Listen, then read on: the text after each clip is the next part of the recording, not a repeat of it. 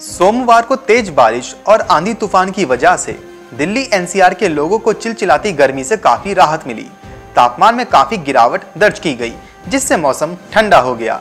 वहीं मौसम विभाग ने आज, यानी मंगलवार को भी दिल्ली एनसीआर में 30 से 40 किलोमीटर प्रति घंटे की रफ्तार से हवा चलने की संभावना जताई है। मौसम विभाग का ये भी अनुमान है कि इस पूरे हफ़्ते लोगों को हीट वेव से राहत ऐसे ही मिलती रहेगी। दिल्ली एनसीआर में सोमवार सुबह बारिश हुई। वहीं रात को भी कई इलाकों में झमाझम पानी बरसा। इसी के साथ सोमवार का दिन बीते 18 सालों में मई का सबसे ठंडा दिन रिकॉर्ड किया गया। वहीं मौसम विभाग ने आज भी दिल्ली एनसीआर में तेज बारिश होने की संभावना जताई है।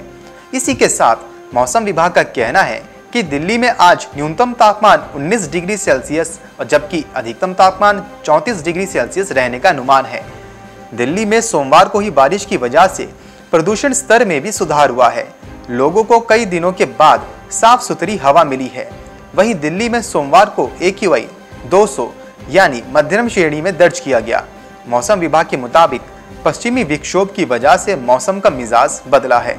मौसम विभाग ने अगले पाँच दिनों तक पश्चिमी राजस्थान के अलावा कहीं और लू ना चलने का अनुमान जताया है। मौसम विभाग की माने तो दिल्ली एनसीआर में मौसम ने जो करवट ली है, उसका असर 24 मई तक देखने को मिलेगा और 25 मई से मौसम फिर साफ़ हो जाएगा। हालाँकि इसी बीच 24 तक तापमान में 2 से 3 डिग्री सेल्सियस की गिरावट दर्ज की जाएगी और अधिकतम तापमान में 40 डिग्री तक देखने को मिलेगा।